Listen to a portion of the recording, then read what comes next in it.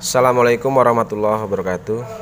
Uh, baiklah pada uh, pertemuan kali ini saya akan coba menyampaikan uh, satu buah materi yaitu membuat laporan neraca atau biasa disebut dengan balance sheet. Nah, laporan neraca sendiri ini fungsinya adalah digunakan untuk uh, mencatat berapa jumlah harta atau aset serta hutang dan modal perusahaan. Maka di dalam pelaporan sendiri uh, untuk neraca atau balance sheet ini ini dibagi jadi dua sisi. Ada sisi harta itu di kolom debit atau aset dan sisi hutang dan modal atau liabilities dan equity itu di kolom kredit. Sehingga untuk menyusun neraca sendiri itu rumusnya adalah harta itu harus seimbang dengan jumlah modal dan hutang. Oke, baik, langsung saja e, cara mengisi neraca sendiri ini kita berpatokan atau berdasarkan pada worksheet atau buku kerja yang sudah e, pernah kita buat atau yang sudah kita buat pada pertemuan sebelumnya. Nah, di kolom worksheet sendiri itu untuk menginput data neraca atau jumlah neraca atau nominal dari masing-masing akun yang ada di neraca itu kita ambilkan di worksheet yaitu khusus di kolom balance. Jadi kolom ini. Kolom paling akhir ya jadi uh, patokan atau apa namanya uh, prinsip untuk mengisi worksheet itu kita mengambilnya eh prinsip uh, mengisi neraca itu kita ngambil dari laporan worksheet atau buku kerja yaitu ngambil di kolom balance. Jadi nilai nominalnya kita ambil di kolom balance. Ya langsung saja ya di sini kita coba isikan. Nah untuk kategori aset ini untuk menuliskan struktur eh, nama akun yang ada di kolom aset. Ini kita berpatokan pada daftar akun yang kita punya. Nah di daftar akun untuk aset itu ada kategori current asset ada long term investment ya di sini dan ada fixed asset. Nah ini kita tuliskan berurutan sesuai dengan struktur yang ada. Misal contoh kita yang pertama kita coba masukkan untuk yang kategori current asset di sebelah sini Oke, ini kita tulis current asset. Kemudian kategori current asset ini ini kita masukkan semua. Berarti kategori current asset ini ini kita masukkan semua di kolom aset ini. Ya, kita tuliskan di sini semua, kita masukkan. Ya, seperti ini. Kalian masukkan yang kategori current asset.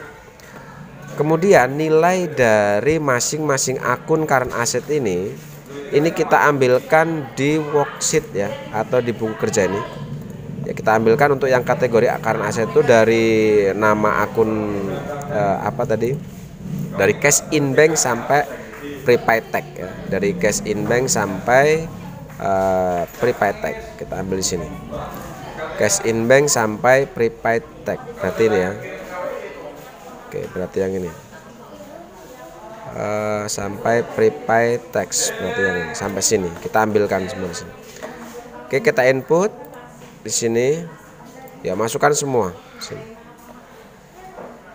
ya sesuai di sini. Lihat cara penulisannya untuk kategori aset. Jika di current aset ini ada saldo kredit ya contohnya di sini adalah ada saldo kredit untuk allowance for debt full debt ini.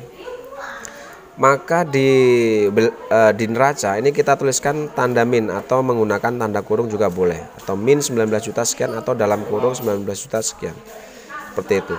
Kemudian setelah kategori current asset ini kita masukkan nama akun dan jumlahnya maka kemudian yang langkah selanjutnya adalah kita jumlah. Ya kita total untuk kategori current asset kita letakkan di sebelah kanannya. Sini ya. Ini kita total kita jumlah. Kemudian jumlahnya letakkan di sebelah kolom yang kedua. Nah kemudian yang selanjutnya kita masukkan untuk yang kategori aset itu yang selanjutnya adalah long term investment ini long term investment. Ya kita masukkan sini. Long term investment. Nah yang masuk kategori long term investment apa di sini adalah stock investment. Berarti kita masukkan di sini stock investment. Ya kemudian kita masukkan nilainya di sini. Nah nilai ini kita ambilkan di uh, worksheet ya. Long term investment berarti yang ini ya. Uh, mana mana long term investment? Kategori long term ya kita ambilkan 70 juta di worksheet ini. Berarti yang ini ya stock investment ini. Ya yang tutup 20 juta ini debit masukin. Ya kemudian karena di situ hanya satu nilai atau satu uh, nominal saja maka kita langsung jumlahkan ke sebelah kanan. Di kolom kedua langsung kita masukkan di kolom sebelah kanan kemudian yang selanjutnya adalah ini ada fixed asset kita masukkan kategori fixed asset ini ya kita masukkan ke sini fixed asset oke kategori fixed apa saja kita masukkan di sini Iya, ada dua kategori untuk fixed asset itu ada equipment at cost dan equipment akun depreciation. Oke. Kemudian nilainya kita ambilkan di kolom uh, worksheet sini. Ya, masukin berarti yang ini ya. Berarti yang ini kita ambil.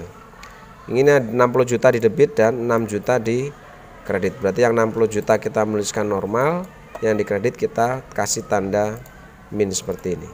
Kemudian kita jumlah ke total fixed asetnya kemudian letakkan di sebelah kanan untuk jumlahnya oke nah setelah kategori aset ini kita masukkan baik current asset maupun long term investment dan fixed asset lalu total semua ini. Ini kita jumlahkan semua letakkan di kolom paling bawah.